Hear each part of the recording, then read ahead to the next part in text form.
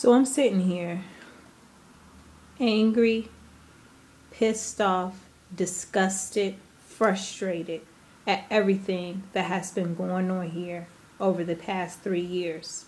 Okay?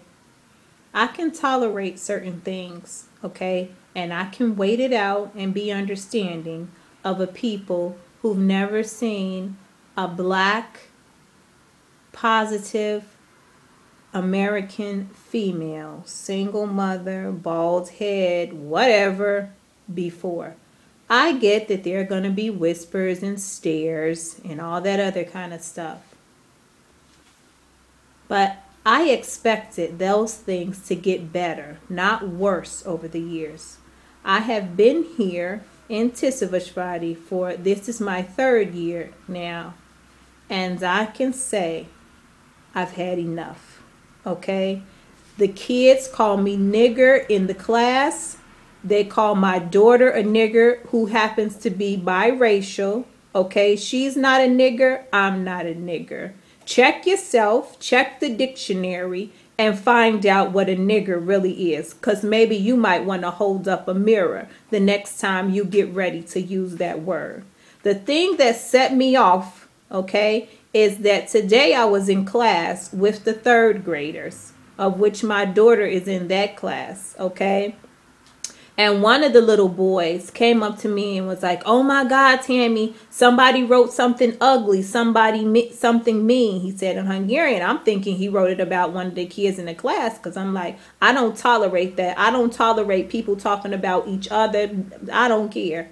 So he brought it up to me, and I see that my name is written on the board in bigger letters than normal, medium sized letters, and it says Tammy hülye. Now, hülye in Hungarian means stupid or idiot or it's nothing nice. I can tell you. Google it, Fordító, however you want to do it. Find out what the word means. H U with the two dots on top, L Y E. hülye. Okay? That's what they said. Okay? And let me tell you something. Okay? Anger doesn't begin to describe how I feel right now. All right?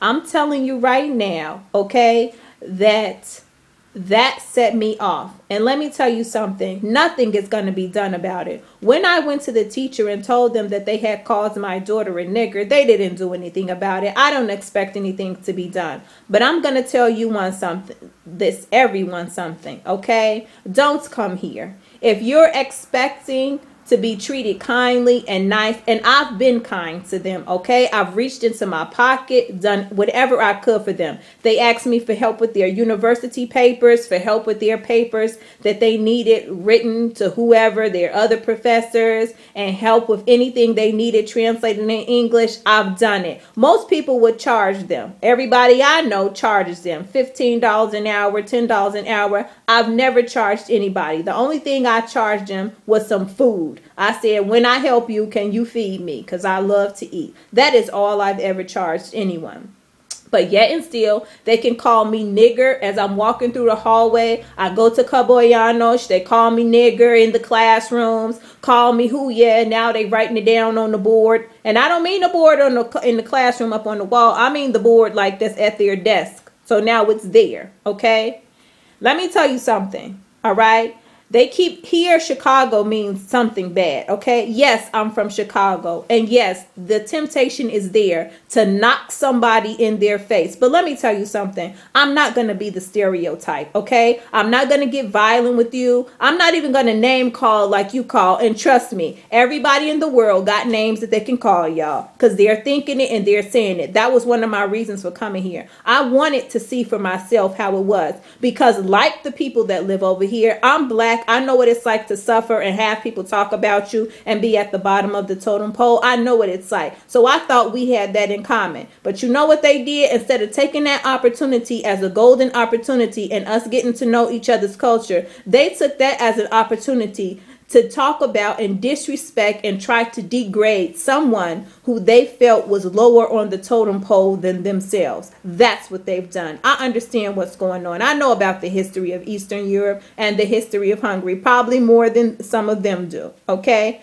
But I will not be disrespected. I will not have my daughter disrespected, okay? And I will not be the stereotype. I am not a nigger. I am not hülye. I am not csúnya. And any other disrespectful and negative words that you want to throw my way. And yes, whoever wrote it, coward. When you say these things and you don't come to my face with it, coward, okay? Because at least if you came to my face with it, we could talk about it. But no, and the parents and the teachers that sit by and do nothing and allow those kids to call me nigger, allow their kids to call my daughter nigger and to call me stupid, then why the hell do you have me as your teacher? If you think I'm so stupid and you think I'm such an idiot, then why have I been here for three years? Why have I been helping everybody translate and do their work and do their assignments and do their papers and complete their documents? If I'm so stupid and if I'm such an idiot, then how come their papers have been successful? Hmm.